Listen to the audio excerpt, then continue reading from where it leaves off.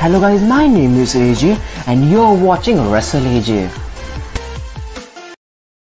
So so guys जैसे कि आपको पता है कि हमको कमिंग फ्राइडे नाइट स्मैकडाउन के एपिसोड में एक बहुत ही बड़ा मैच देखने वाला है, जो कि होने वाला है for the undisputed W W tag team championship match between champion the Usos versus Sheamus and Butch guys आज के दिन यही बात कर लें, क्या हमको पॉसिबली देख सकते हैं मैच में न्यू चैंपियंस में तो क्या ऊसोस ही चैंपियनशिप रिटेन करते हुए दिखने वाले हैं? सो गाइस पूरा डिटेल जानने के लिए ये वीडियो को आखिर तक देखिए, क्योंकि आज की वीडियो बहुत इंटरेस्टिंग होने वाले अगर आप लोग बहुत ही बड़ा वाला फ़ैन और कमिंग फ्राइडे स्मैकडाउन के एपिसोड में मैच देखने वाले हो।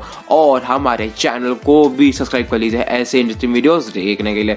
तो जैसे कि आपको पता है डब्ल्यू डब्ल्यू ने यह मैच ऑफिशियल कर दिया है कमिंग फ्राइडे स्मैकडाउन के एपिसोड के लिए। तो क्या हमको पॉसिबली ये मैच में देख सकता है नया चैंपियन क्या हमको उसो से मैच में उनके टैग टीम चैंपियनशिप हारते हुए देख सकते हैं? मुझे नहीं लगता कि देख के। क्योंकि डब्ल्यू का सभी ये प्लान चलेगा कि जो शेमस और बच को टैग टीम चैंपियंस बनाने वाले क्योंकि उसोस की जो रेन है वो पाँच छह दिनों के भी ऊपर ही है। और मुझे लगता है कि एक अच्छी खासी बड़ी टैग टीम द ऊसूस को हराते हुए दिखने चाहिए। बहुत ही स्टूपर अगर कि अगर वो द ऊसूस से चैंपियनशिप ले रही है और सीधा ऐसे कोई एक वन ऑफ़ टीम को देखो शेमस और बच। है मैं ऐसे नहीं बोला टीम बोलेंगे बात ऐसे कि ऊसूस का भी लेवल इतना बढ़ गया है कि भी वो रोमन रेस के साथ भी काम करते हैं कि उनको एक बड़ी टैग टीम ही हरानी चाहिए।